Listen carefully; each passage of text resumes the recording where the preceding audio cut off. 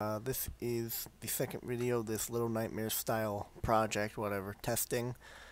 Um, so as you, I, as you can see, I changed the camera angle. I think it looks a lot better now, actually, than it was. Now, instead of zooming in with the player, the camera just, like, pitches up.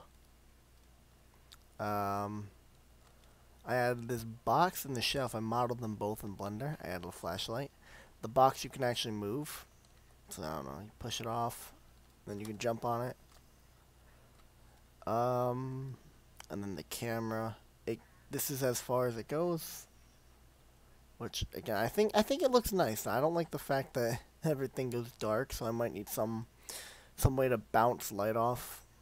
Probably a wall behind the camera, I'd imagine, but yeah, this is what I this is what I've been. I still haven't added like I haven't made it so the camera can go here. I did add uh, walls here though, so you can't actually jump off. I didn't make the camera transition. Um, yeah, I think that's pretty much it. If you'll notice, so I know I didn't really get to show this off for because I didn't have a light, but I actually gave the the wall a nice trim around. You can see the floorboards. However, there's this little bit where it sticks out, but don't worry about that. So yeah, other changes I did was change the collision. I made it a bit smaller. this is the main issue. I won't.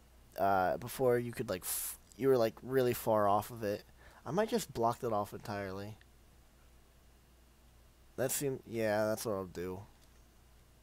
Um, but yeah, that's. All oh, you can actually see the roof now because there has always been a roof.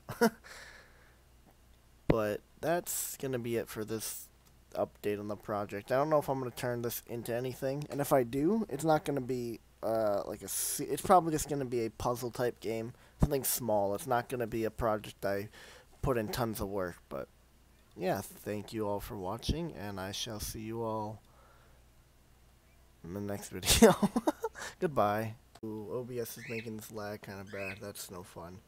Um, this is like the second clip of the video that I recorded yesterday. It was really late, so I didn't upload it. And I decided I was going to get some work done before actually finishing the video. So as you can see, there's no longer random stairs, it's actually boxes. Uh, I was just testing out like collision with them, testing out like uh, platforming. Got the box so you can still push off.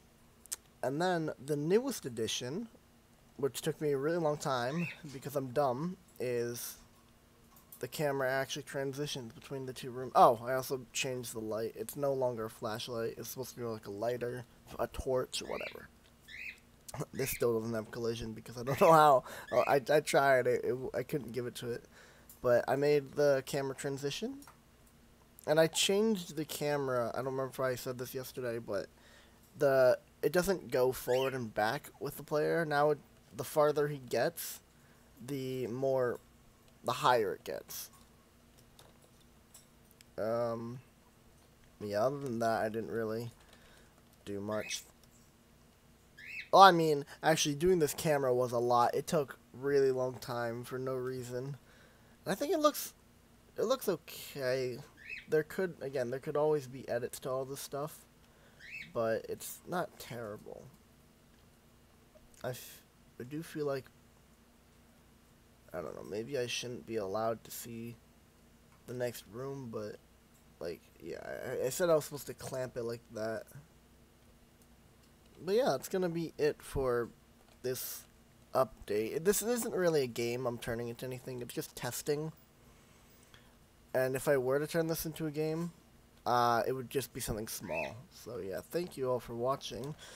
And I can't get up there. Goodbye.